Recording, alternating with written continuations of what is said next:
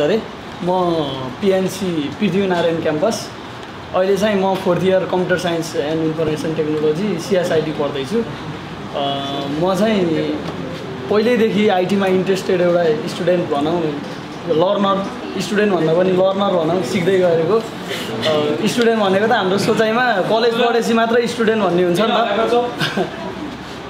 त्यो अनुसारले म चाहिँ पहिल्यैदेखि भर्खर पढाइको इम्पोर्टेन्स बुझ्ने बेलादेखिबाट चाहिँ आइटीमा इन्ट्रेस्टेड तर केही गर्न नसकेको जस्तो भनौँ न एउटा राम्रो गाइडेन्स नपाएर अब मैले कुन स्टेपबाट कुन अब म कताबाट के पढाउँ अब कुन फिल्डमा यो फिल्डमा पनि के पढाउँ भन्नेसम्म नलेज नभएको एउटा स्टुडेन्टसम्म मात्र थिएँ। प्रोग्रामिङ गर्दाखेरि के कुन ल कुन ल्याङ्ग्वेजमा प्रोग्रामिङ गर्ने त्यो ल्याङ्ग्वेजमा गएर नि कसरी गर्ने कुनै एउटा नलेज नभएको मात्र एउटा स्टुडेन्ट लर्नर मात्र थिएँ सिक्दै थिएँ अहिलेसम्म सिकेको।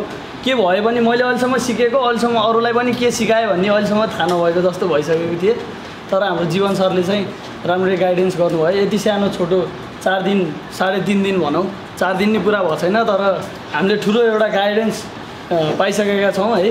अब आज बेलुका घर पुगिसकेपछि अब हामीले के पढ्नुपर्छ के गर्नुपर्छ भनेर अब अब पछिको दस वर्षसम्म पढ्न सक्ने गरेर हामीलाई गाइडेन्स दिइसक्नु भएको छ जीवन सरले। त्यसको लागि चाहिँ धेरै थ्याङ्क यू अब थ्याङ्क युले थ्याङ्क यू शब्दले पुग्दै पुग्दैन हामीले सरलाई भन्नको लागि। अब त्यसको लागि धेरै धेरै थ्याङ्क यू सरलाई। अनि हाम्रो यत्रो यत्रो यत्रो ठुलो प्रोग्रामको लागि चाहिँ हामीलाई जेएमसी जनप्रिय जनप्रिय मल्टिपल क्याम्पसबाट यो भेन्यू दिनु हुनको लागि हाम्रो यो कम्युनिटी कलेज भनौँ सबै कम्युनिटीले यत्रो ठुलो राम्रो भेन्यू प्रोजेक्टरहरू यत्रो हामीलाई गर्मीमा पनि फ्यान छ सबै छ एकदम व्यवस्थित तरिकाले भेन्यू दिनुभएको छ। त्यसको लागि धन्यवाद। फेरि पनि ताली।